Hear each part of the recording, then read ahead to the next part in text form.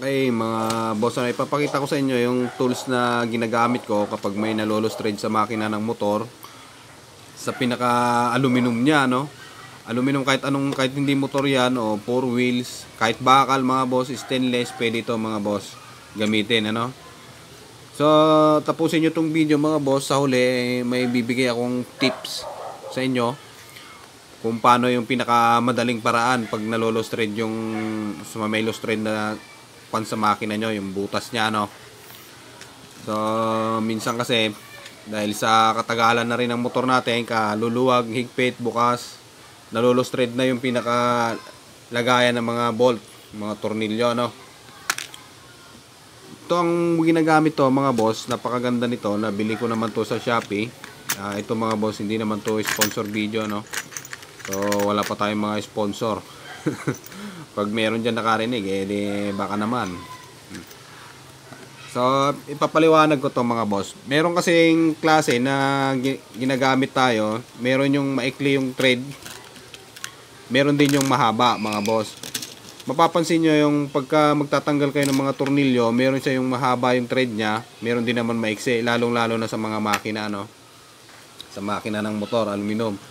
May mga kanya-kanyang size yan. Ito, ang gagawin natin dito mga boss, kailangan meron tayong barena. Ano?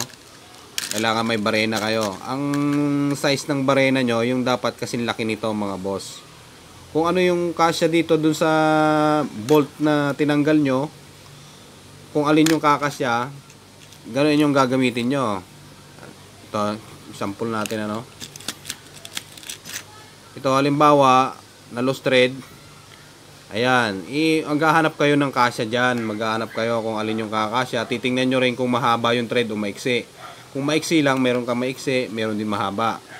Ano, ipapasok niyo muna ganyan doon sa bolt na tinanggal nyo. Ayan, kung ito yung kumasya, mga boss, kailangan yung barena nyo, mga boss, kasing laki nito. Kasing laki niyan. Kasing laki nito. Itong kasya doon sa bolt. Kasi ipapasok natin to sa loob ano, kasi laki nito. Ano mas malaki. Mas malaki para kitang-kita. Kasi ito yung papasok natin sa loob, mga boss. Ano? Kailangan yung barena na gagamitin nyo is kasi laki nito. Para pumasok siya. Pag nabarena nyo na yung butas, saka naman kayo gagamit nito, mga boss. May mga size naman to. Ano? Kung ano yung laki nito, yun din ang ipapasok yung ganyan sa loob.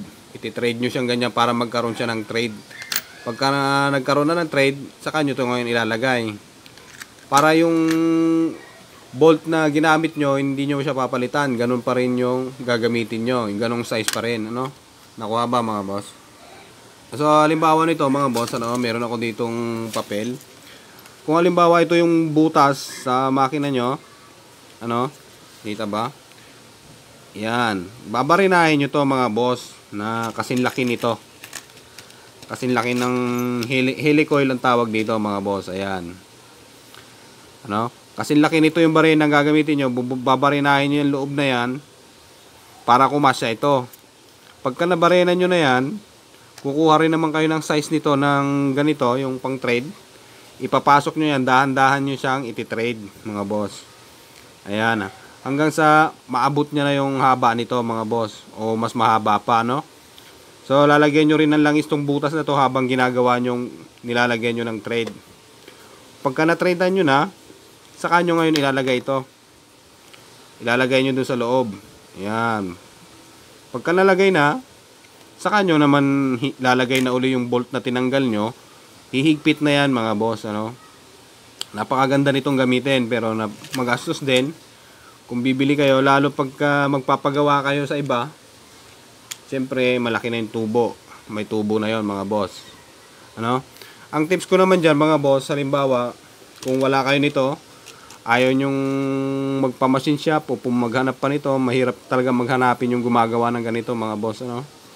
Kundi ang sasuggest sa inyo, pupunta, ka, pupunta kayo ng machine shop, tatanggalin nyo, babaklasin nyo, ipapa-machine shop nyo para sakto. Pero yung iba, ganito yung ginagawa, helicoil mga boss. Pero ang tips ko mga boss, pagka sa motor nyo, na lost thread yung bolt nyo doon, tanggalin nyo mga boss. kung halimbawa ito yung tinanggal yung bolt doon, pumunta kayo ng shop mga boss, maghanap kayo ng mga allen na stainless. Nakaparehas nung bolt na tinanggal nyo mga boss. Tapos, yun ngayon ang ilalagay nyo, yung stainless mga boss. Sigurado yun, hihigpit pa rin yun. Hindi na kayo gagastos, hindi na kayo pupunta ng machine shop. Kung nakuha nyo ng ganon, umobra siya, humigpit, edi swerte. Kapag hindi naman siya humigpit, siguradong napakaluwag na mga boss, ano? Napakaluwag na ng butas, yung pinakabutas ng bolt.